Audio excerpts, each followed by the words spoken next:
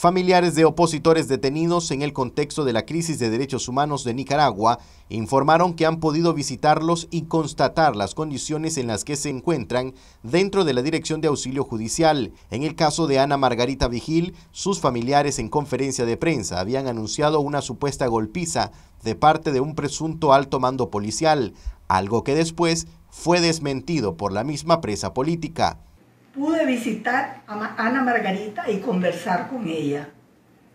Acabo de salir de la Dirección de Auxilio Judicial y con gran alivio y alegría les comunico que según lo que nos dijo, la agresión denunciada el día 30 de diciembre no tuvo lugar.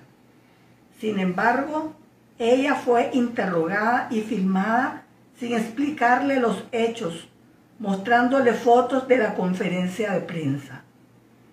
Esto causó una gran conmoción en ella, puesto que la última información que tuvo de mi estado de salud fue hace 45 días, cuando me encontraba en un estado grave, intubada y con ventilador.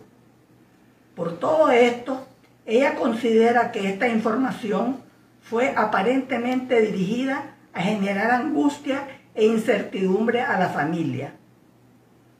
Ana Margarita sigue recluida en un régimen de aislamiento, incomunicada, interrogada diariamente y ha perdido aún más peso.